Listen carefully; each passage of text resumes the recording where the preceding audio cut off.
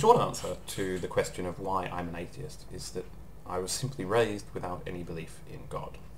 Um, I like to think that I'm a rational person, and I like to think that I would have come to the, pretty much the same conclusions regarding religion if I had been raised in a religious household.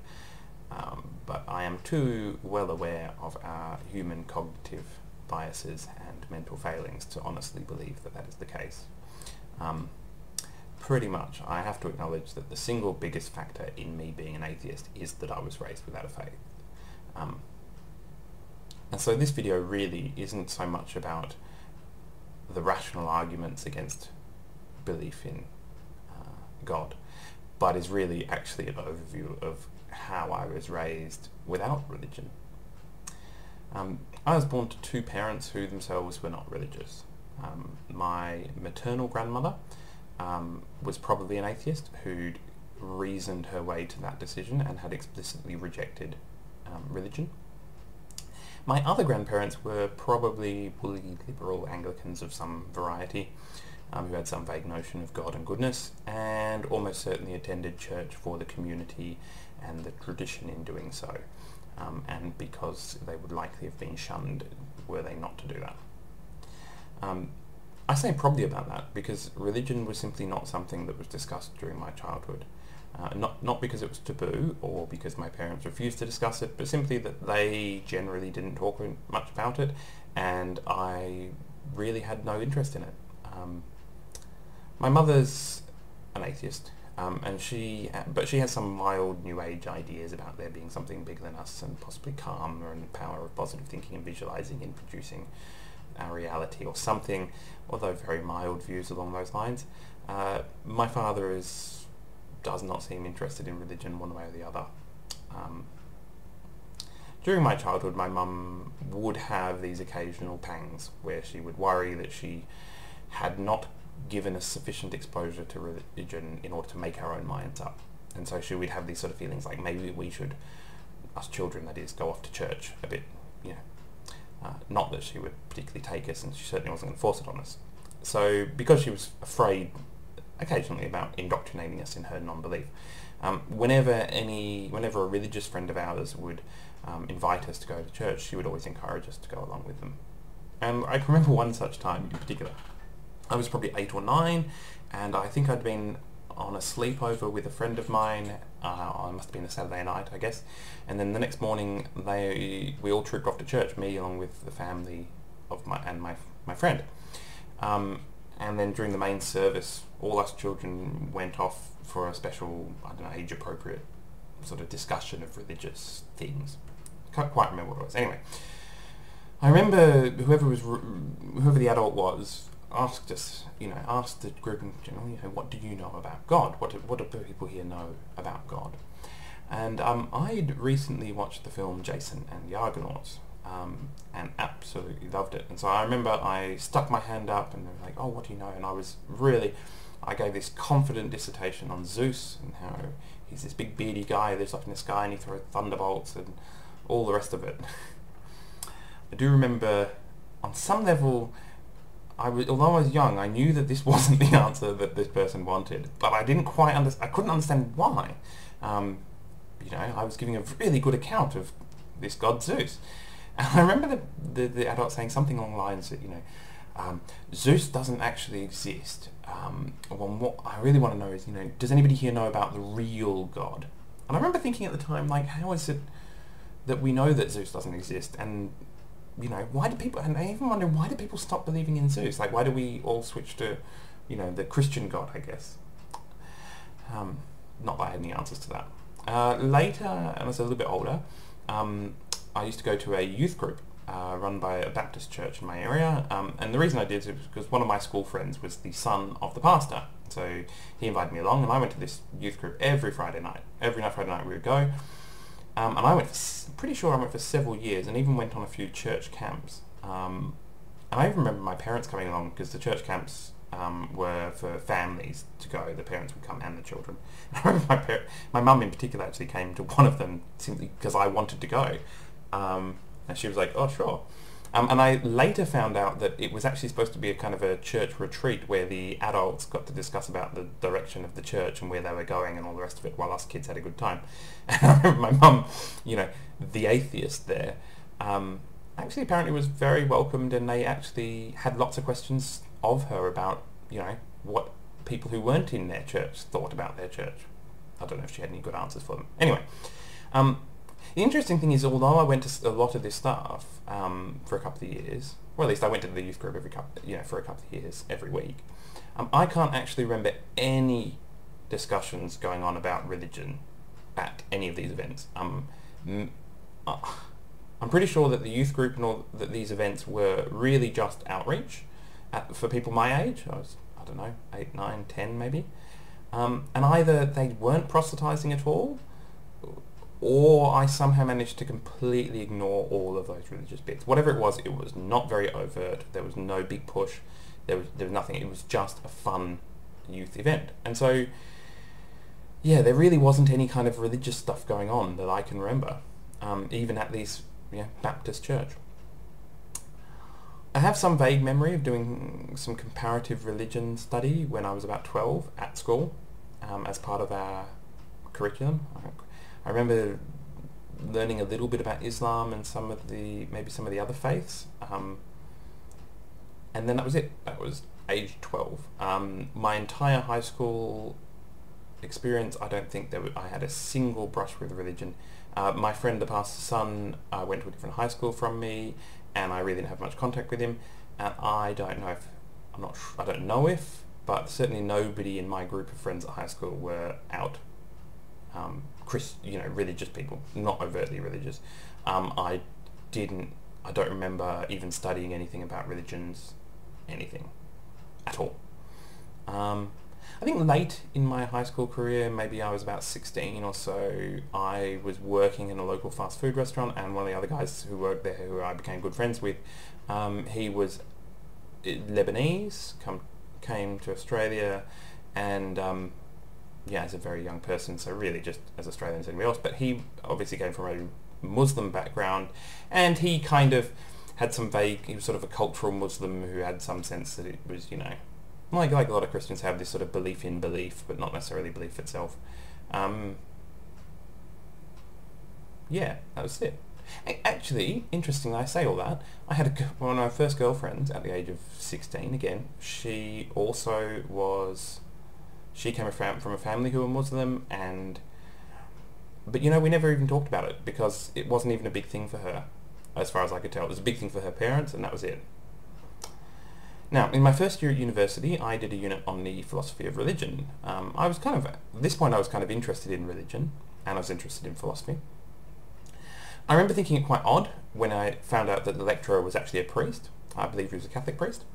Um, I remember thinking that was sort of a bit strange that he would be doing this philosophy of religion course. Um, you know, but not only did it. I, I honestly think it was the. If anything, he was more biased against the arguments for God. Uh, whether that was because he on he was one of those theists who believed that rational argumentation is not a path to God, or whether he was bending over backwards to not appear biased, or maybe he was just an intellectually honest person. But he presented, the course was basically a presentation of all of the, the, the classical arguments for the existence of God. And after we did each of them, there was the classical, you know, the the arguments against all of the usual objections. And so there it was, laid out clear. Here's all the arguments that basically theists have been able to put together for, well, at least not, not really theists, but Christians have put together for arguments for God. And here's all of the objections. And I remember coming out the other side being convinced that there really couldn't be any well-known arguments for the existence of God that could stand up to criticism. Um, I remember thinking that if, if you know, the university lecturer, Catholic priest at you know our top university in the state, not that really means much, but um, did not have any knock down solid arguments for the existence of God, then they probably didn't exist. Or at least they couldn't have been well known at that point. Um, I also remember being left with, we talked about the problem of evil. Um, and how that was, you know, and what some of the possible sort of theistic responses were. And I remember really noting that there were no good rational responses to it. I mean, there were there are responses, and you you know to it, and some of these you can sort of justify your way through it. But I remember thinking that none of this was a solid response. There was no aha, that makes sense now that you know that's how we can have evil. I remember just thinking, oh yeah, okay, so you've managed to define your god or whatever in such a way as to sort of exempt them from that criticism. It didn't feel like a sort of a direct sort of um, defense of the God of the Bible, at least, or a sort of a strong sense of God. I do remember at the time actually. Um, I think I'd done another philosophy course, or or maybe it was the same philosophy course, but a different section of it where we weren't talking about religion, and we did come across um, Occam's razor, and I remember naively stumbling across an argument, sort of in my own head, unaware that you know, you know naively thinking that this was some great discovery of mine, um, that basically realizing that God couldn't possibly exist. I thought I had the the solid knockdown argument for it.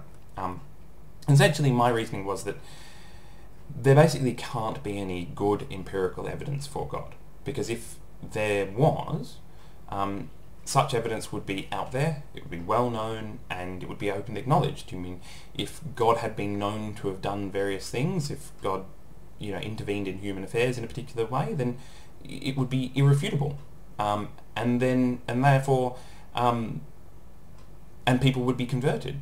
And the fact that there wasn't, you know, that, that the world was not full of Christians 2,000 years after Christ, that this 2,000 years um, has not seen a steady sort of, a steady, unhalted um, conversion of everybody to Christianity um, based on rational argument, um, to me made a strong argument that there can't be this well-known, openly acknowledged, you know, irrefutable empirical evidence for God. And therefore, the only gods that you could really argue for, this is what I thought at the time, um, is a non-interventionist God. Now, I didn't realize at the time I wasn't even aware of the theist deist kind of distinction or any of it, and so I sort of went, well, if if you can only have this sort of non-interventionist God, um, it, occurred to me you can you could dismiss this God through reference to Occam's razor. You know, this God doesn't intervene, doesn't do anything, and therefore may as well, like, why are we postulating this unnecessary metaphysical entity?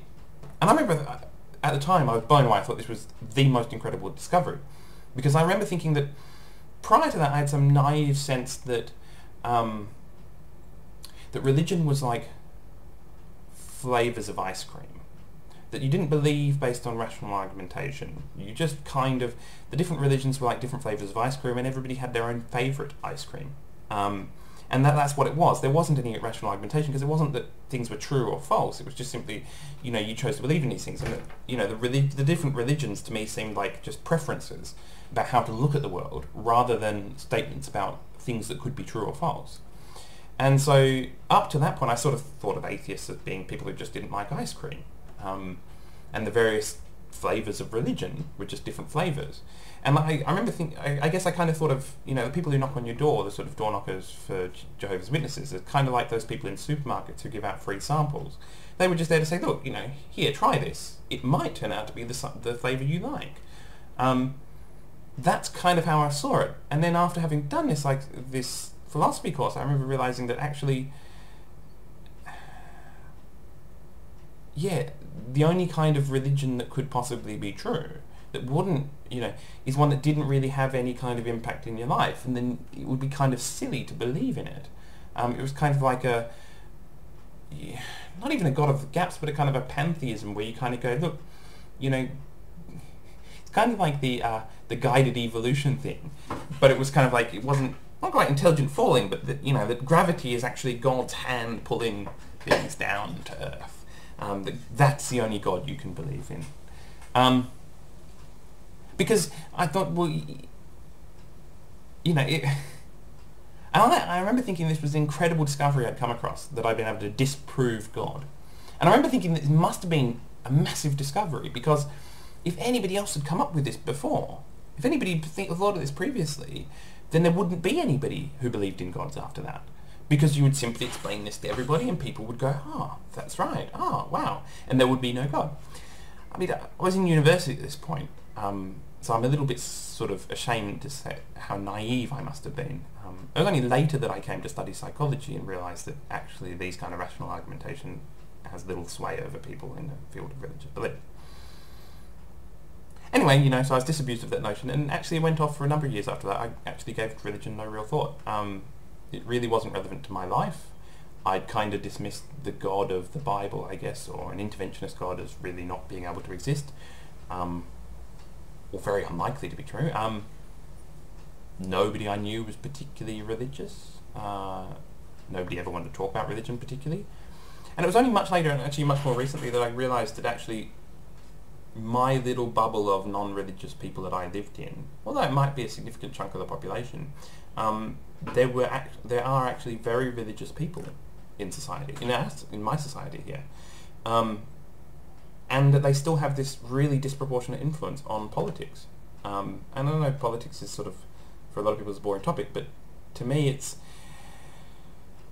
it is still actually it determines a lot of important things in people's lives. The rules, the laws that people pass in politics, the way that money is spent actually does make a big difference in people's lives. Not necessarily in mine, because I happen to be solidly middle class, white, educated, heterosexual, married, uh, male, who, you know, cisgendered. Um, and so, you know, any political party pretty much, all the mainstream political parties are nice to me anyway. Um, but I, I did realise later that actually there is this big, um, there is this chunk at least, it's not even a big, but it's a chunk of people who are particularly religious who have this disproportionate power in politics um, that disadvantages, for no good reason, a whole bunch of people who you know, happen to not be like me and that I was living actually in a fairly sheltered world, sheltered from the, the troubles that these religious people were causing. Um, and then I also later discovered I, that there is a sort of a slightly organised atheist movement, as it were. Um, came across the atheist books, and then really sort of solidified my position as an atheist at that point, and kind of came across the rational argumentation again, was reminded of all of the classical arguments, was shocked to discover that the current arguments are no better, and, and in fact often are identical with just jazzed up language. Um, yeah, despite the fact that these previous, these classical arguments have been disproved from almost the time that they were advanced. Um, and so recently I've been taken to making YouTube videos, um, and eventually, maybe, I might even make some decent YouTube videos about atheism, if I can find something to say that hasn't already been said. So, there you go. That's how, that's why I'm an atheist. Um, basically because I was raised by parents who did not teach me to believe in God. Um, well, I hope that's been interesting. Um, certainly been fun for me to talk about, and I'll uh, see you all next time. Bye.